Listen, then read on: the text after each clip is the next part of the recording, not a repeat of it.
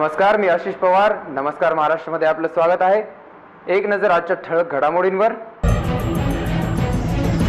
नायगाव नगरपंचायत कार्यालयातर्फे स्वच्छ व सुंदर शहर बनवण्यासाठी घरातील ओला व सुका कचरा वेगवेगळा जमा करून नायगाव शहर सुंदर बनवण्यासाठी अधिकारी एस एन भोसीकर नगराध्यक्ष विजय भालेराव उपनगराध्यक्ष विजय शंकरराव चव्हाण यांच्या प्रयत्नातून नायगाव शहर स्वच्छ व सुंदर बनवण्यास मदत मिळत आहे. वेळोवेळी नायगाव नगरपंचायत कार्यालयातर्फे स्वच्छतेचे नागरिकांना आवाहन करण्यात येत आहे. नायगाव नगरपंचायत नायगाव स्वच्छ सर्वेक्षण दोन हजार एकोणीस.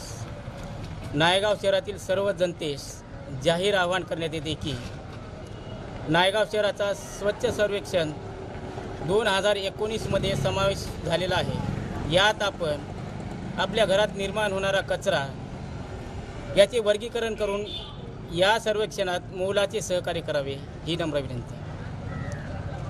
आपल्या कचऱ्याचे वर्गीकरण करत असताना ओला कचरा व सुका कचरा असा अलग अलग करून आमच्या गाडीमध्ये किंवा कचऱ्याला जो कोणी येईल ऑटो येईल रिक्षा येईल घनकचरा व्यवस्थापनाचे लोक जे येतील त्यांना ओला कचरा आणि सुका कचरा अलग करून द्यावा.